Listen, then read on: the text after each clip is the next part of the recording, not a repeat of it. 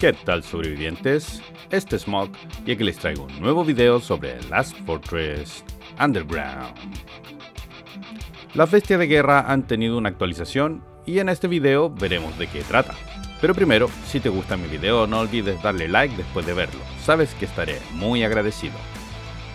Cuando lanzaron el cazador carmesí, la diferencia que tenía con el Dino mecánico era que alcanzaba un nivel de modificación más alto, y con ello más buffs se podían desbloquear. Esto hacía más conveniente dejar el cazador en el camión principal y el Dino en el segundo, siempre y cuando ya tuvieses el nivel de modificación al máximo. De no ser así, daba lo mismo a cual bestia tuvieses en cada camión. Bueno, eh, con la última actualización, el Dino mecánico también puede ser elevado hasta el nivel 108 de modificación, y con eso puede desbloquear la misma cantidad de buffs, pero la diferencia viene después del nivel 96.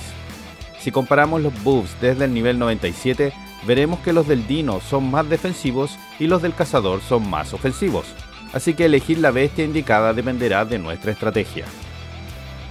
Cuando recién aparecía el Dino mecánico, hablábamos sobre las dudas que nos generaba el qué hacer con los cianotipos extra que íbamos obteniendo una vez que ya habíamos alcanzado el nivel 10 con el Dino. Nos preguntábamos si convendría cambiarlos por módulos o si las siguientes bestias usarían los mismos cianotipos. Sabiendo lo ocurrido con el carro neón y esos componentes especiales que requiere para ser desbloqueado, la duda era razonable. Cuando apareció el cazador carmesí, tuvimos la desilusión de que efectivamente requería otro tipo de planos.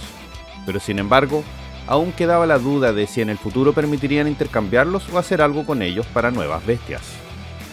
En efecto, vino la nueva actualización y ahora tanto el Dino como el Cazador pueden ser llevados hasta el nivel 20, por lo que aquellos acumuladores que guardamos los cianotipos extra, pudimos subirlo a algunos niveles de inmediato.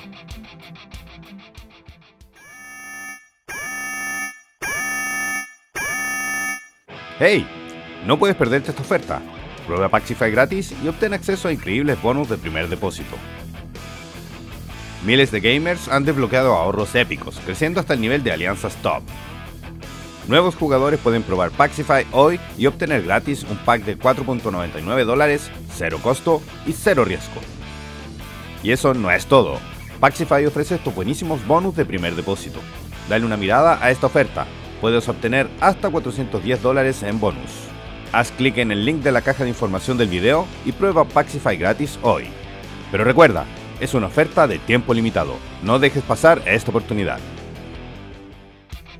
El subirlas de nivel no solo aumenta los atributos básicos que otorga cada bestia, que como sabemos sirven para todas nuestras formaciones, aun cuando no tengan asignado una bestia.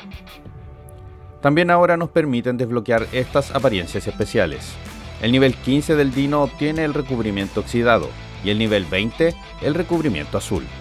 Por su parte, el cazador al nivel 15 obtiene el recubrimiento de jungla y el nivel 20 el recubrimiento violeta.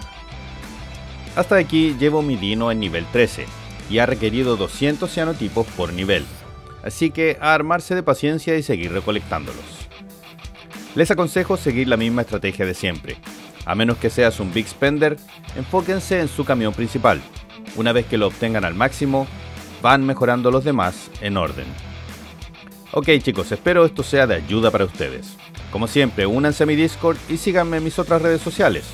Suscríbanse a mi canal, no olviden darle like al video y activen la campanita para que sepan cuando suba nuevo contenido. Este es Smoke, les deseo un gran día, bye bye.